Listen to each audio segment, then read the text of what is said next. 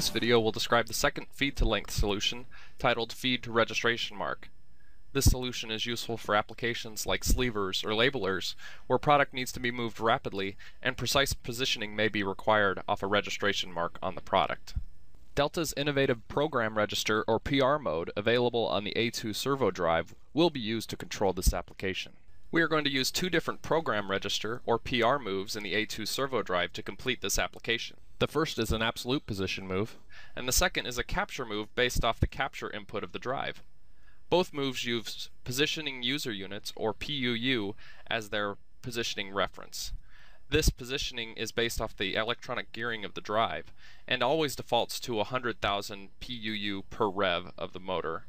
This is so both the A2 and the B2 servo drive can have the same PUU per rev. For more information on this, please see Delta's video on position user units. To prevent misreads, the compare function will be used to create a masking window and enable the capture function only within a specific window. Here is our example, showing an index move of 100,000 counts. A registration mark is at position 70,000 of that move. To begin, an absolute move of 100,000 counts will be executed. In addition, the compare function will be enabled to execute at position 60,000. When that position is reached, the compare will activate the capture input to read the registration mark. Once the registration mark is read, a capture move of 30,000 counts will interrupt the previous move for fine positioning.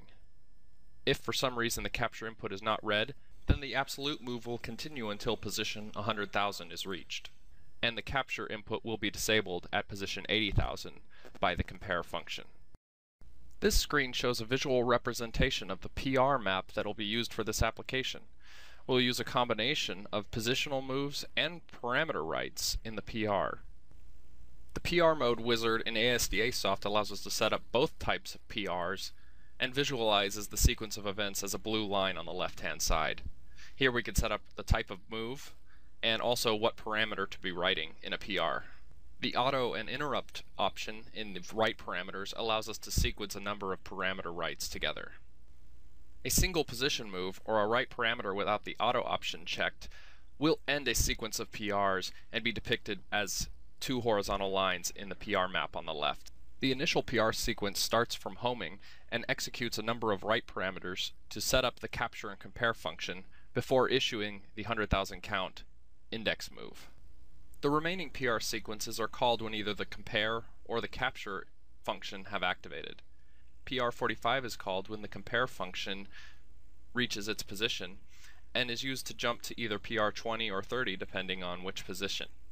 PR20 is called when the first position of 60,000 is reached and enable the capture input. PR30 is called if the capture input is never read and the position reaches 80,000. If the capture input is read, then PR50 is executed, which executes our capture move. We're going to walk through setting up the first sequence of PRs from PR0 to PR8, starting with the homing routine, which will simply set the current position to 0 and jump to PR1. Next we will set up PR1, which is set to write to a parameter of the drive. This is going to be set up to write to parameter P559, to disable the compare functionality while we set up the system. When we select the write parameter function, we will also be selecting the interrupt and auto options to ensure that the parameter writes happen in a sequence. PR2 will now be set up, which will disable the capture function, again to allow us to set up the proper parameters for this application. PR3 will now be set up as well as a parameter write with the same interrupt and auto function enabled. This parameter write will be to P5-56 and will set the data address for the compare uh, data address in the data register. PR4 will be a parameter write to P5-57 which sets the compare counter number. Here we'll set that to 0. PR5 will be another parameter write to parameter P5-58, which sets the compare amount to 1. PR6 is going to be set as a parameter write to P559 to re-enable the compare functionality now that we've set up the parameters correctly for the application.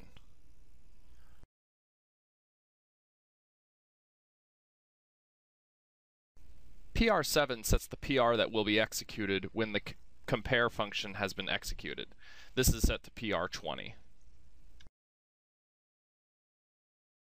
Finally, we will set our move command of 100,000 PUU into PR8. This will be an absolute position move. Here we will set the acceleration, deceleration, and speed, and set the position command. From here we can download this completed first sequence to the drive and continue programming the remaining sequences using the methods described. At this point, we can test a PR move by triggering PR0. Once we run, we can see that our position is incrementing. Executing PR0 or homing will trigger the sequence of events. This can be triggered by communication or via digital input. This concludes Delta's video on feed-to-length solutions using registration marks. For